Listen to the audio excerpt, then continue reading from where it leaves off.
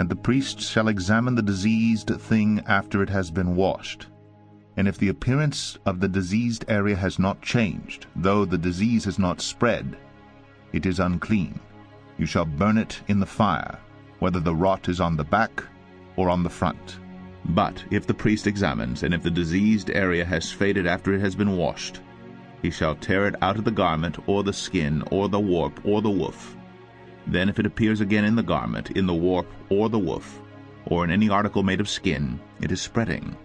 You shall burn with fire whatever has the disease, but the garment, or the warp, or the woof, or any article made of skin from which the disease departs when you have washed it, shall then be washed a second time, and be clean. This is the law for a case of leprous disease in a garment of wool or linen, either in the warp or the woof, or in any article made of skin, to determine whether it is clean or unclean.